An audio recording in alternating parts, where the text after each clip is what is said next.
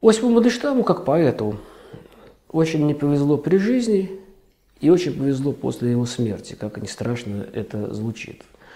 Дело в том, что э, при жизни Мандельштаму изучали не очень много, хотя о нем и писали совершенно выдающиеся филологи, такие как Виктор Максимович Жермунский или Юрий Николаевич Тынянов или Борис Бухштаб, но все-таки э, он не был поставлен, как кажется, на то место, которого он заслуживал. Он э, находился в тени других поэтов Серебряного века, прежде всего Александра Блока, а если говорить о его самых близких коллегах, то э, я бы назвал имя Анны Ахматовой, потому что, скажем, статья Жермунского, замечательно преодолевший символизм, где впервые всерьез говорится о Мандельштаме и разбирается его поэзия. Если просто посмотреть объем этой статьи, то Мандельштаму там уделено гораздо меньше места, чем Ахматовой, не говоря о том, что дальше Жермунский много писал об Ахматовой уже как ученый, а Мандельштаме писал гораздо меньше.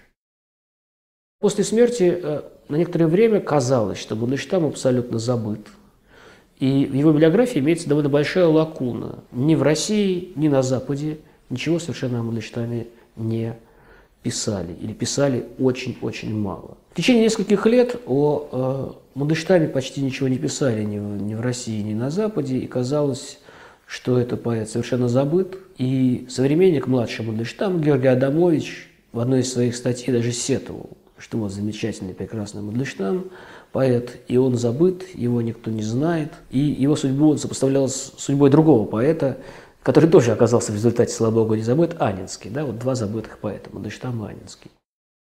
Огромную роль э, в том, что Мандельштам стал популярен э, и стал одним из самых, а может быть и самым изучаемым, во всяком случае, на Западе автором, сыграла сначала публикация в журнале «Мосты», стихотворение «Мы живем под собой, не чуя страны» о Сталине, которую отважный литературовед Юлий Оксман этот текст этого стихотворения передал на Запад. И как только это стихотворение было напечатано, ставки Мандельштама сразу очень сильно э, поднялись. Это было стихотворение, это первое, собственно говоря, стихотворение, написанное против Сталина, при жизни Сталина. И понятно, что интерес к Мандельштаму сразу очень сильно возрос. И дальше, как это не парадоксально, а может быть и закономерно, интерес к Мандельштаму был подогрет двумя книгами воспоминаний о нем, которые написала его вдова. Надежда Яковлевна Мандельштам, ее первая книга воспоминаний вышла в 70-м году. Вторая книга, которая так и называлась, вторая книга вышла позже. И это сразу вызвало тоже огромный интерес к Мандельштаму. Но достаточно сказать, что на Западе на том же а, тиражи книг Надежды Яковлевны гораздо больше, чем а, тиражи стихотворений самого Мандельштама. И понятно почему. Это публицистическая прекрасная литература, такие бесы 20 века, я бы сказал, да, э, очень резкие, очень прямые. А поэзия Мандельштама, она сложная, и она требует, во-первых, перевода адекватного, во-вторых, и понимания более углубленного, чем даже и прекрасные книжки Надежды Яковлевны. Мы должны сказать огромное спасибо Глебу Петровичу Струве, который решился вместе с Борисом Филипповым издать собрание сочинений Мандельштама в Америке. И когда оно вышло, то многие филологи на Западе принялись изучать Мандельштама, и здесь нужно назвать еще одно имя.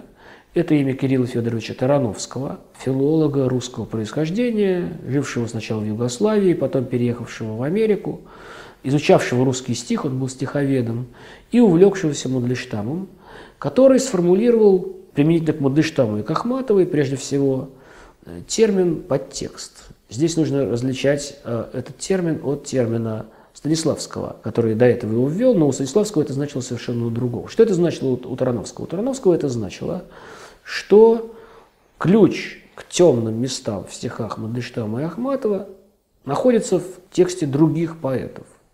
И обращаясь к этим текстам, к Пушкину, например, да, как у Мандельштама, «Да будет в старости печаль моя светла, я в Риме родился, и он ко мне вернулся». Печаль моя светла – это кусочек из Пушкина. Подставляя Пушкина сюда мы приобретаем новые оттенки смысла, да, мы по-другому читаем стихотворение Мандельштама. Так вот, Тарановский написал книгу, а, сначала статью, а потом книгу, в которой творчество Мандельштама рассматривалось через тексты других авторов. А, это оказалось чрезвычайно плодотворно – Тарановский, кроме того, был профессором Гарвардского университета, и он воспитал целое поколение западных прекрасных мандельштамоведов, таких как Омри Ранен, прежде всего, Стивен Бройт. Это два автора, которые написали в свою очередь прекрасные книги о Мандельштаме. В Советском Союзе ситуация была довольно сложной, но просто потому, что главные стихотворения Мандельштама очень долго не выходили. И только в 1973 году вышел том библиотеки поэта, хорошо подготовленный Николаем Ивановичем Харчевым, другом, приятелем Мандельштама и Надеждой Яковлевной Мандельштам. И в этом томе замечательная статья Лидии Яковлевны Гинзбург, в которой давался такой цельный портрет, цельный очерк творчества Мандельштама, была заменена печально известной статьей Александра, Александра Дымшица, в которой, скажем, ну, которая, которая состояла там, на 80% из вранья просто сплошного. Например, там говорилось, что Мандельштам поехал в Воронеж в поздние годы. Зачем-то он поехал в Воронеж, совершенно непонятно почему. И совершенно был затуманен. Ничего, естественно, не говорится ни о лагере, ни о стихотворении против Сталина и так далее, и так далее. Она вызвала общее такое подпольное, но общее возмущение интеллигенции, эта статья. И только в 91 году, пожалуй, э, в год столетия Мандельштама, когда вышел двухтомник черный двухтомник, подготовленный Павлом Нерлером, а, с предисловием Сергея Аверинцева, а, который был совершенно выдающимся, потому что там был цельный очерк поэтики Мандельштама. И дальше эту инициативу подхватил, подхватил Михаил Леонидович Гаспаров, который написал свою статью, во многом продолжающую то, что делал Аверинцев, а во многом ее как бы, преодолевающую, с ней спорящую. Если Аверинцев во многом следовал своей концепции за Надеждой Яковлевной Мандельштам, и поэт у него был героизирован, и поэт у него был таким христианским мучеником. Во многом, я несколько преувеличиваю, сгущаю, но, но, пожалуй, в целом это было так. То а, Гаспаров вписал творчество Мандельштама а, в контекст эпохи в гораздо большей степени, чем Э, Аверинцев, и показал э, сложность, необычность, неоднозначность Мандельштамовского, Мандельштамовского творчества в большей степени, как кажется, чем кто-либо другой, и сделал это очень целостно. Хотя в Советском Союзе в 70-е годы исследование Мандельштама почти не печаталось, на Западе э, многие замечательные русские филологи, прежде всего Московско-Тартовской школы, такие как Юрий Левин, Евгений Тоддес, Георгий Левинтон – печатали статьи о Мандельштаме, в, которым, в которых они продолжали, прежде всего, ту линию, которая была начата в книжке Тарановского. Несмотря на то, что сегодня Мандельштам кажется одним из самых изученных поэтов, тем не менее, э, существуют очень серьезные лакуны и в его изучении тоже. Самое очевидное из них – это отсутствие академического собрания сочинений.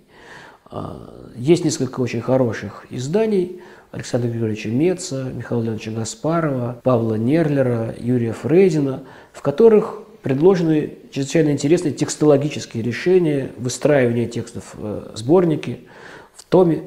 А, но до сих пор мы не имеем академического собрания с э, выверенными абсолютно текстами и с академическим комментарием. Есть еще одна зияющая лакуна. А, до сих пор не вышел том воспоминания о Мандельштаме, грамотно и хорошо составленный, куда бы вошли не так уж и многочисленные воспоминания, мемуары э, современников о поэте.